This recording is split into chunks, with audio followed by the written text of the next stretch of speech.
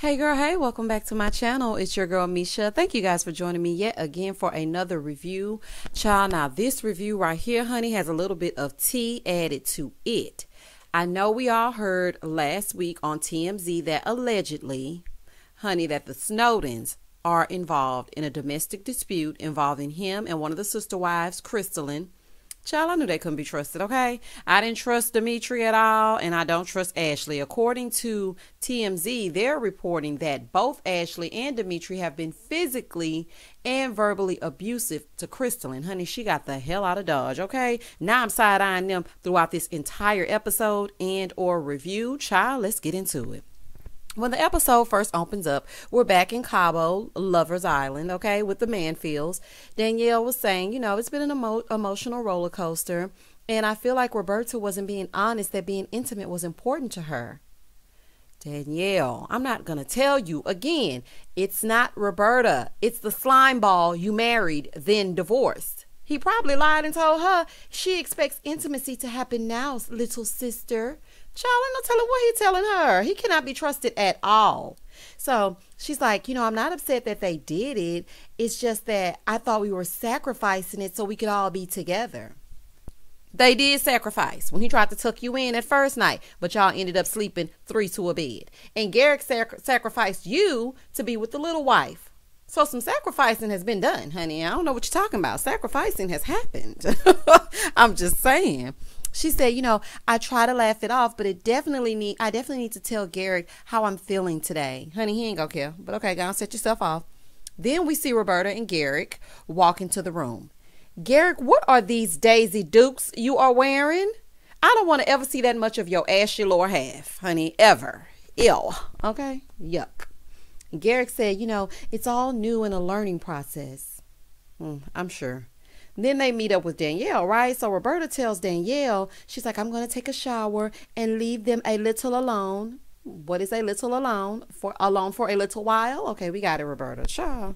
Roberta probably thinking, huh, here's your chance to have your quickie so that we can be even and I can stop feeling guilty. Okay, girl, go on, do what you got to do. Get it popping. Once they get alone, they start awkwardly talking, which is strange because you've been married for so many years right before you got this divorce, only to bring this lady over to the States. Okay. So Danielle said, You know, truth be told, I had some jealousy issues after hearing about your sex. The, uh, every time she explains it this way, I'm just so baffled. Honey, those are normal emotions. If I saw my husband, who I've been with for years, say he was intimate with someone other than me and I'm not used to that, a normal person would be jealous. So, like, don't make it seem like there's something wrong with you because you're becoming jealous because of this. That's what I don't like. She said it wasn't easy because I wasn't expecting it. Honey, instead of him apologizing, he says, I know you feel Roberta doesn't value you, but she told me today that she loves you so much that she would leave me for you. Gaslighting, okay? Child, Danielle had the stupidest smirk on her face. She was looking like, well, buddy, this little experiment may be over. she was looking like, hey, this is what I needed to hear. She says, uh, that's a pretty big, big deal. Then she starts crying and saying, that helps me to know that this isn't just about you. Then Garrick starts crying, but honey, probably crying because he could possibly lose Roberta. He definitely was not crying because Danielle was crying, that's for sure. He could care less about her emotions, honey, her feelings, any of that.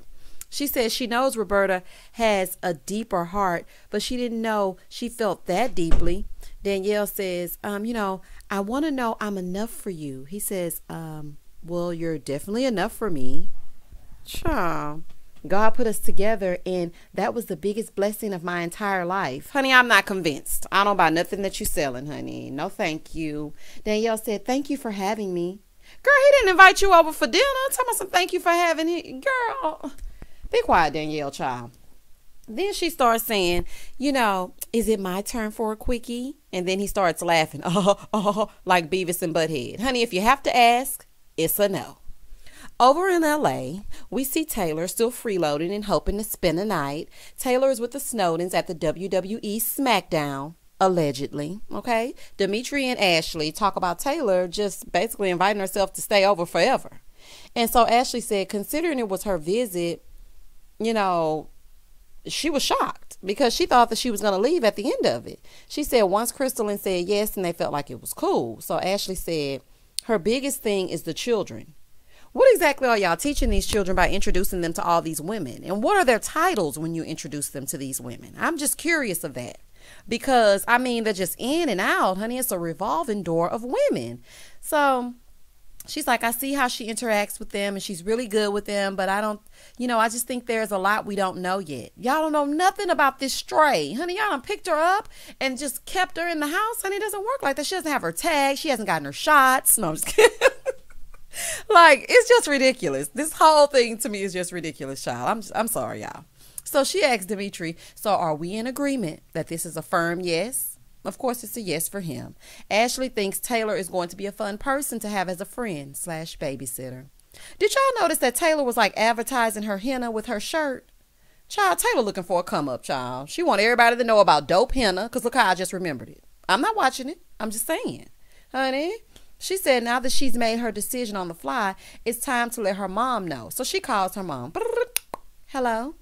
Hey, mom. She said her mom is her BFF. She told her about the Snowdens, but she thought her mom probably thought it was going to be a joke. Okay, so she on the phone with the mom, all right?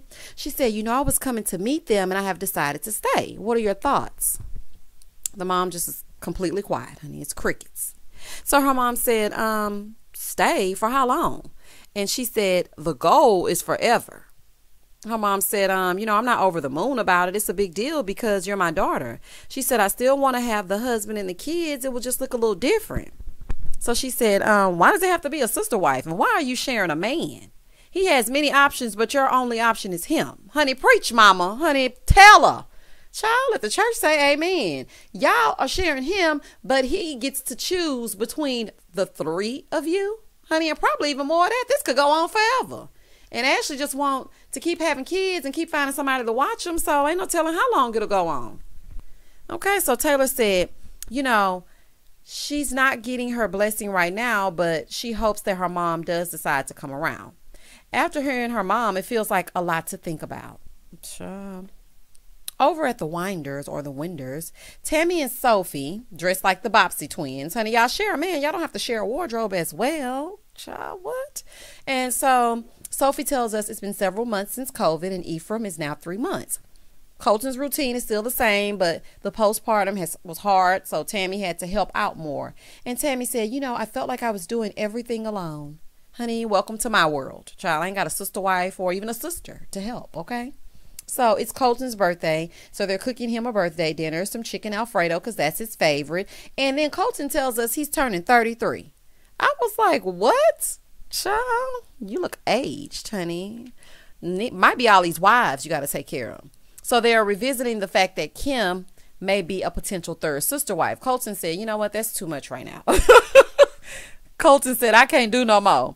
He said he had some concerns. Okay. So he said, you know, I just didn't have a spark with Kim. And they were like, well, maybe it was because it was over the phone. So you just never know. So then he starts to talk about the Bible and starts to talk about God. I'm trying to figure out what Bible are y'all reading, honey. Child. Colton says if God says it's okay, then it's okay. Over with the Clarks, honey, this was a shock, okay? But it really wasn't a shock to me, honey, because she's a young girl. We talk to the Clarks and they say COVID has taken over production, but now they can safely resume, right? So we see Head and Shoulders, aka Jared, with the kids. So Vanessa said, you know, she's continued to work, but the schools, the daycares, and all of that, they're closed. So Head and Shoulders is daddy daycare. See, this is what he was trying to avoid by having Kaelah around, okay? That's the reason why he wanted her there. The producers asked about Kaelah, right? And so he said, due to COVID, things got a lot more different. So they show him like trying to reach out to her, but she's not really receptive to it, right? So they show Vanessa washing dishes as, um, you know, she's stating that Kaelah decided to stay with a friend and the communication is difficult. And she doesn't know if it's COVID or if she's just choosing not to communicate. Honey, she's choosing it. And it must suck to wash your own dishes, huh? I bet you wish you would have never complained about that microwave now, huh? that's what I thought. Baby Kaelah living her best life, free of y'all and your non headboard, okay? The Clark said they decided to quarantine separately because of the way that Kaelah moves outside the home. And then it became even harder to communicate with her. I mean, she don't want to be communicated with because COVID made you think of some things, okay? Vanessa said, you know, I would love for her to come back, but in the end, they ended up giving her her space she was asking for. Child, Kaelah is young, and COVID made her realize that life is short. Don't waste your youth playing second fiddle and maid to these people, okay? She was like, you know what? People are dying on a daily basis.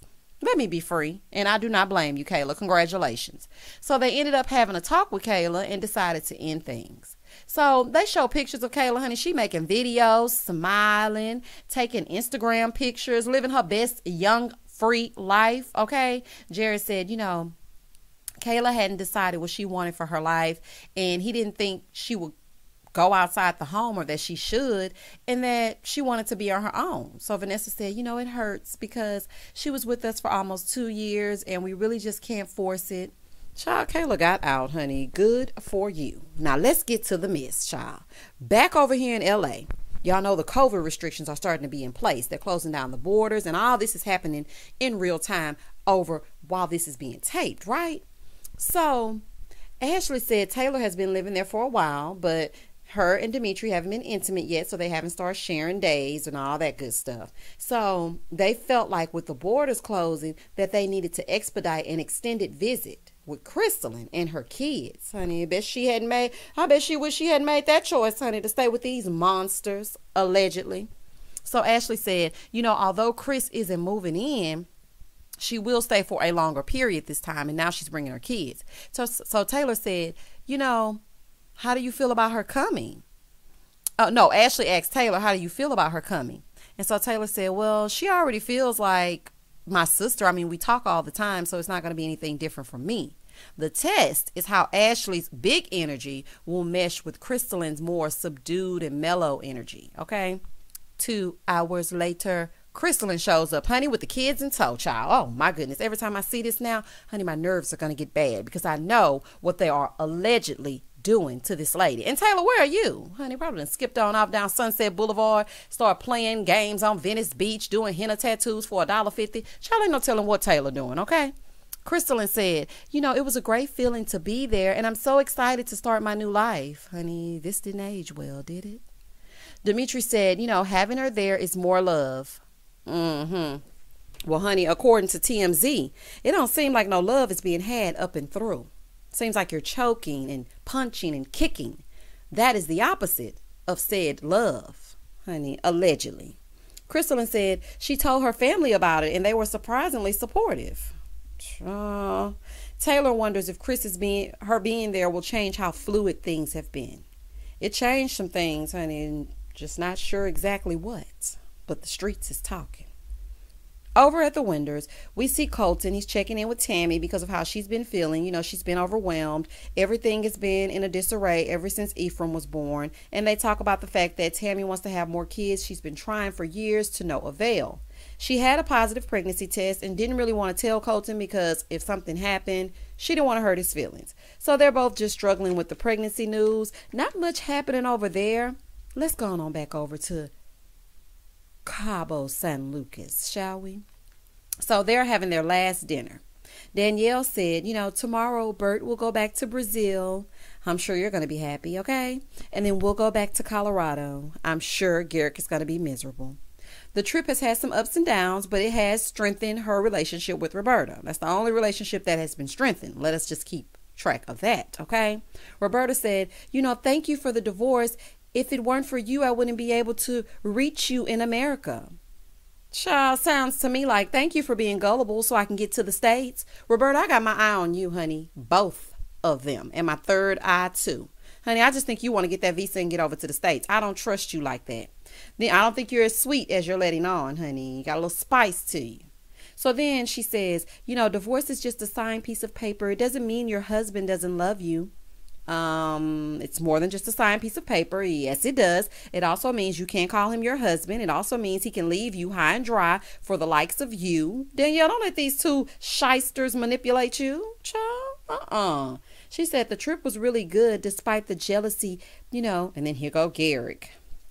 He starts babbling about their There may be fears, but God is there to comfort, and all they need to do is hear from the U.S. Embassy and find out how quickly she can get there.